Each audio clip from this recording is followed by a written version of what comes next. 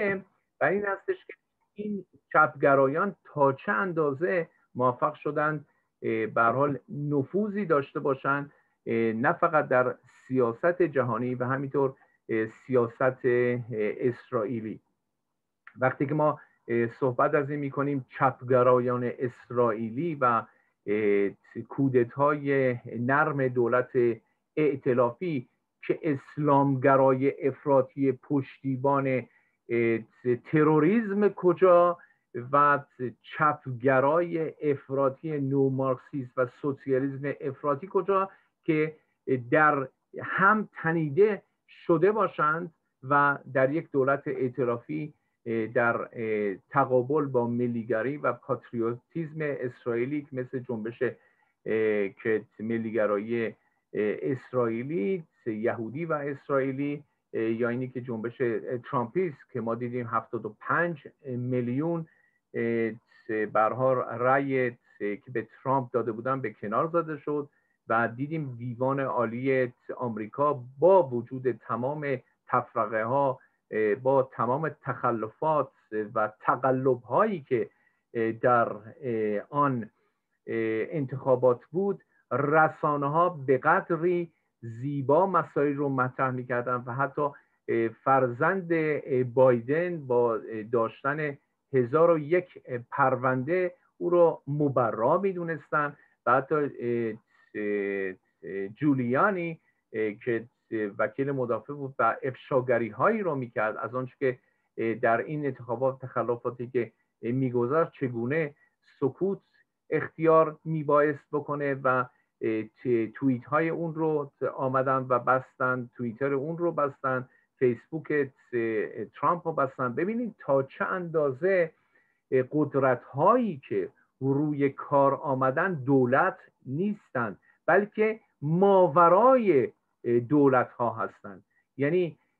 طبقه روی کار آمده از نظر گلوبالیستی که در اون ممکنه چین باشه روسیه باشه نومارکسیسم باشه مارکسیسم اسلامی در بین آنان باشه. اسلامگرایان افراطی در این باشن. چگونه آمدن چشم پوشی کردن نه فقط از تخلفاتی که در انتخابات آمریکا بوده بلکه آمدند و می‌بینید تا چه اندازه آنچه که در اروپا میگذشت. حتی در فرانسه رو در نظر اسلام گرایان افراطی آن رو ما متمایز از دین مبین اسلام. باید بدونیم که به حال هرچه باشه اسلام برای خودش یک دیانتی هستش و باورمندی هستش که قابل توجه و قابل احترام است صحبت از اسلامگرایی سیاسی هست و این اسلامگرایان که اسلامیون خوانده میشن که یک ایدئولوژی اسلام سیاسی رو از حسن البنا از 1928 و همینطور سید قطب و قطبیزم و همینطور آنچه که حاج من الحسینی خوانده شده که بوسنی ها و سربی ها حدود هفتاد هزار تا اسلامیون رو در کنار هیتلر ما می‌دیدیم که حاجن حسینی در آن موقع چندین میلیون دلار در اختیار حاجن حسینی گذاشته بود هیتلر که بتونه برنامه فاشیزم رو و برنامه ناسیونال ناسیونال سوسیالیسم همون نازی خوانده میشه رو بتونه به پیش ببره. و بر طبق افشاگری هایی که بوده ما پی می‌بریم که آنچه که آنچه که بدیل خودش خوانده شده که فکر می‌کردن اوا و هیتلر در پناهگاه خودشون در برلین کشته شدند و به آتش کشیده شده بودند. نه بلکه آنان از طریق طریقی و طرقی که در حال حاضر داره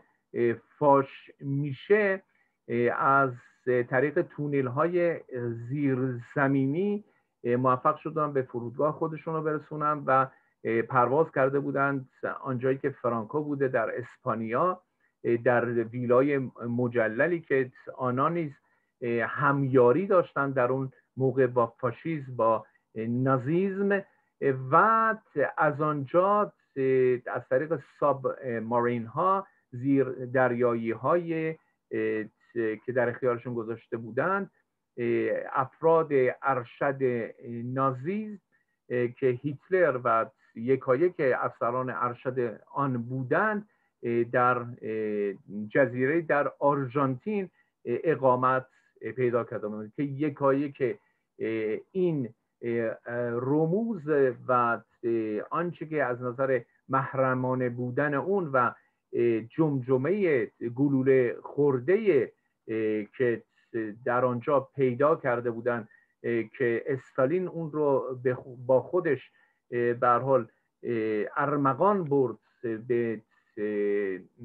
آرشیو مسکو برون نیست بلکه اصل ماجرا چیزی دیگه است که تا 1964 به گفته ای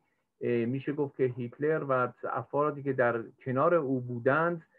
در آرژانتین بودند و گذشته از این موفق شدند نفوذی داشته باشند در کشورهای عربی و آنچه که حاجی منان حسینی که همیار و همفکر هیتلر در راه حل نهایی بود بتونند در این نفوذ در یک یکایک کشورهای عربی از سوریه گرفته عراق گرفته و همینطور مصر در نشست و کنفرانس بین المللی که مصطفی وفا داشتن کتابی رو در اختیار من گذاشت به عنوان یک اندیشمند عرب مصری که در لندن هستش و این در این کتاب گفته شده بوده همکاری نازی ها با اعراب اسلامگرا و از طرف دیگه یک ایدئولوژی پروپاگاندای و تبلیغاتی ضد اسرائیل رو بتونه از این طریق به